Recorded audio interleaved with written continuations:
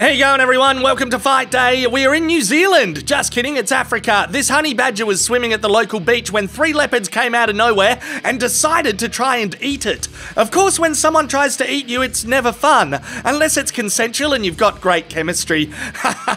nah, I'm being a dodgy wanker. Let's stay focused. The leopard at the back is trying to find a squishy part of the honey badger to bite into. Nom nom nom nom nom nom nom nom. Well, the leopard at the front basically wants to decapitate it. The leopard in the middle is the ringleader. It's the dictator. It won't do any killing itself. It'll sit around and depend on weak as piss minions to oppress and devour the honey badger. Yes, that's a reference to some world leaders. As every fucking internet user in the world knows, however, you don't underestimate the honey badger. Come get some motherfuckers, it yells. Your balls are exposed. Where's your balls? Shoulder bite. Ooh, I got the taste for blood. Neck attack. Ring a ring of rosies. A pocket full of posies. A tissue, a tissue. We all fuck off. Bugger off with your little leopard dick energy. Okay, sure, let's wrestle. I'm up for that. Sub Saharan Jiu Jitsu activated. Let me get my leg up here. I'm gonna pump gas in your direction. Can you smell what I had for dinner last night? I'll tell ya, geckos and berries, bloody potent.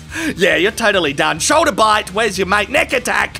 What you dickheads fail to realise is that you are the chew toys. In the words of Jennifer Connelly in Labyrinth, you have no power over me. Even as a solo lone wolf honey badger, I can kick your ass. Okay, come on, party's over. Pack it up. This is my beach. Shitty soft cock ringleader. Off you go. Off now. You shall all fuck. oh, that tickles. You guys are so cute. But I'm out of time. Hadouken! Go, go, go, go, go. And that's the way the honey badger rolls, everyone. We are reminded on average every two to three years on the internet how batshit crazy brilliant this beast is. Look at it, prancing in the sunset. If ever humans are to be knocked off the top of the food chain, it will be by the honey badger.